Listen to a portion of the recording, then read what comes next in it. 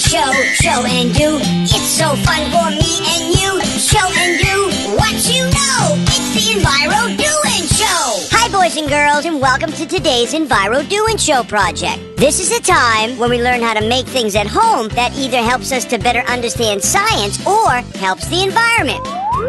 Wouldn't it be great to predict the weather? To know that it might be sunny, cold, or rainy?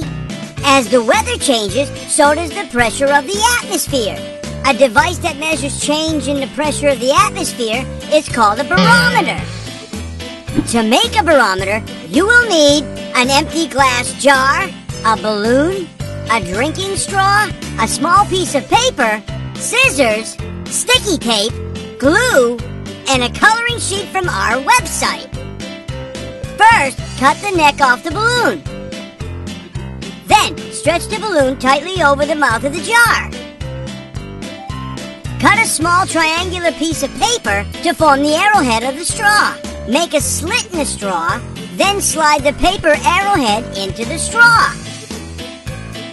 Place the other end of the straw at the center of the covering of the jar, formed by the balloon.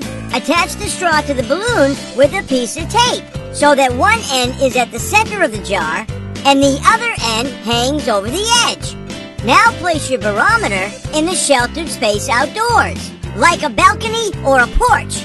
When the air pressure is high, it will push in on the balloon, and the cover will be sucked inward. This will make the arrow move up. This means fine weather is on its way. When the air pressure is low, the cover will be puffed out and the arrow will point down. Unsettled weather and rain can be expected. Hey, boys and girls, did you know that during a hurricane, the atmospheric pressure at the eye or the center of the hurricane is very, very low? And the lowest measured barometric pressure of any hurricane was recorded in 1969 during Hurricane Camille.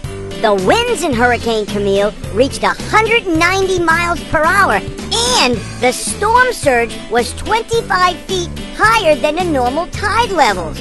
Wow, that's a lot of water. Okay, let's get back to our Envirometer project. Now you can become your own weather forecaster. It's that easy.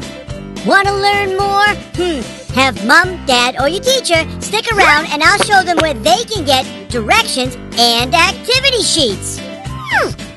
Do and show, show and do. It's so fun for me